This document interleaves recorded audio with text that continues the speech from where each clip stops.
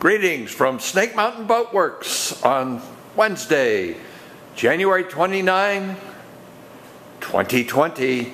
Here is the second update today on the bottom work we are doing on our 1947 Chris Craft U-22.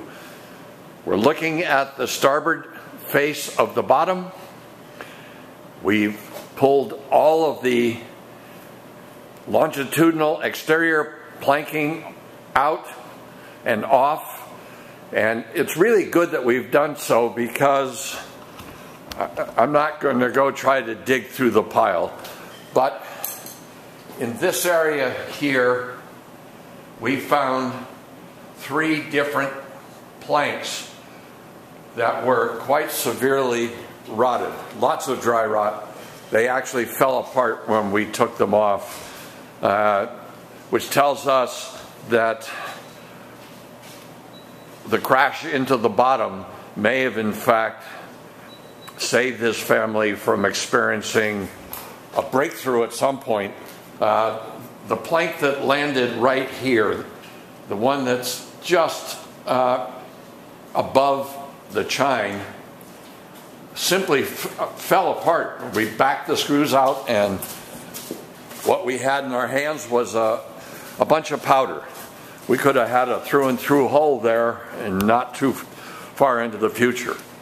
But I remember back now, and the old adage, be careful what you wish for.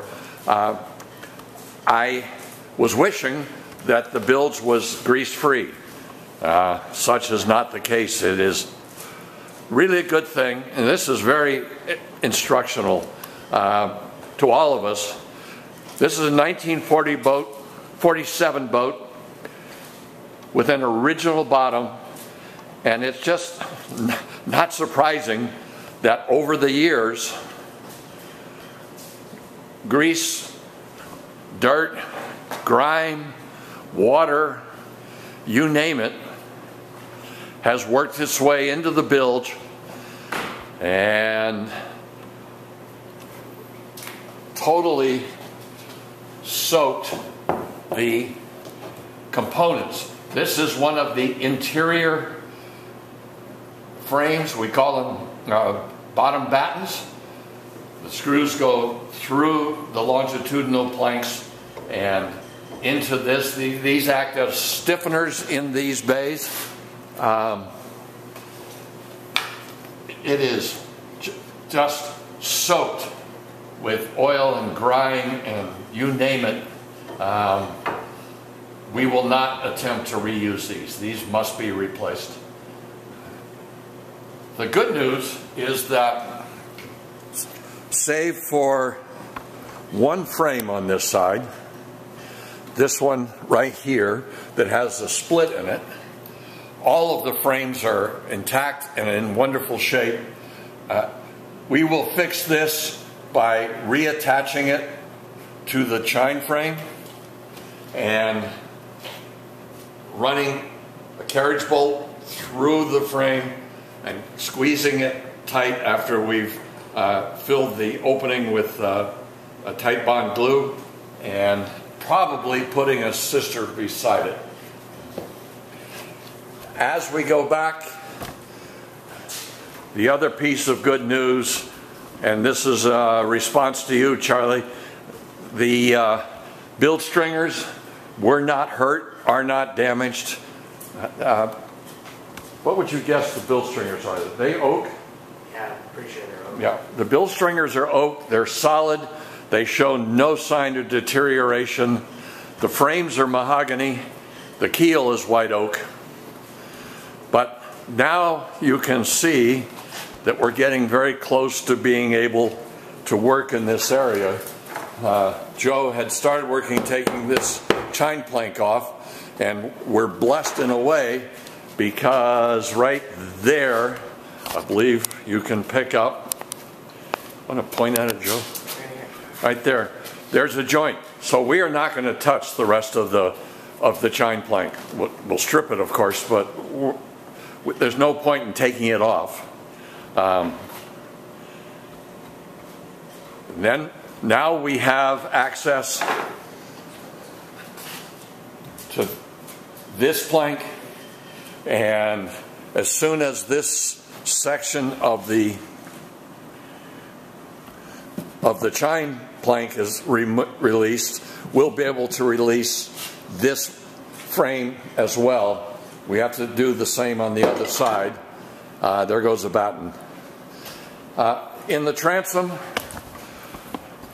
now that we've got things really opened up, the only way we can really handle this center brace and replacing it is by re releasing the next two planks.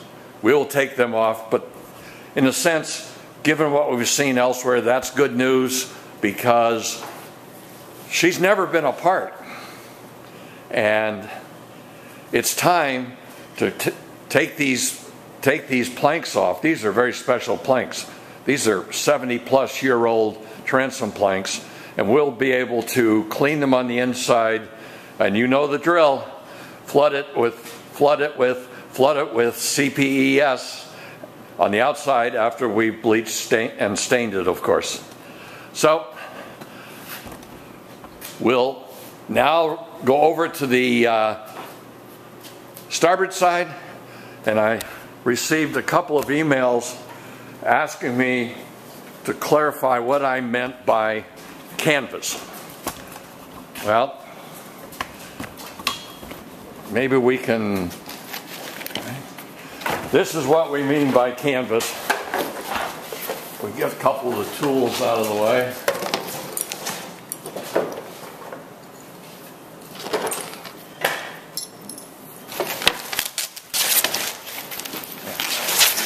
It just comes off and rips up and it still has some residue of whatever the goop was. Um, these planks back here are fine. I was challenged by a couple of you about this morning's video saying, oh, there's no oil on those planks. There can't be oil on those planks. Well, guys, take a look. What's this gloss? What's this sheen? It runs all along here. Every one of these is soaked in oil from about here up to the up to the keel. So we will be removing them and they're Joe will show you just how easy or how difficult it is to pull these guys off. Of course, Murphy's Law is that he finds one that's really still adhered. But comes out pretty easy. Yeah, we still got to take this plank off. Yeah. But having just pulled that apart, you can see that this guy is totally shot as well. Um, I understand Chris-Craft's problem. In our dreams, the keel would pass over the top of these planks and we could run a single plank all the way across, but that's just, there's no clearance um, to do that, even once we repair this. Um, so we'll, we'll put them back in new, new blocks, of course, uh, the way Chris-Craft did, but I'm thinking we also want to run a couple of fasteners this way, and that will stabilize these guys because they're just they're be, they're there being held by hope and a prayer at this point. Um, so by the end of the day today, she'll be naked, as Benny Hill used to say. I hope there's some Benny Hill fans in the audience, in the community. Um, funny man. Uh, well, once we've done that, get the chine planks off, then tomorrow we'll be able to remove this frame and that frame uh, as well. This is a two-piece frame, but it's all broken in between. Um, so we'll keep working and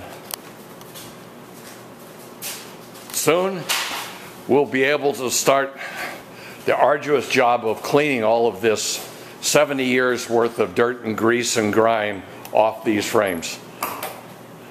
That's our update. Number two on January 29, 2020. Thank you so much. Bye-bye for now from Snake Mountain Boat Works.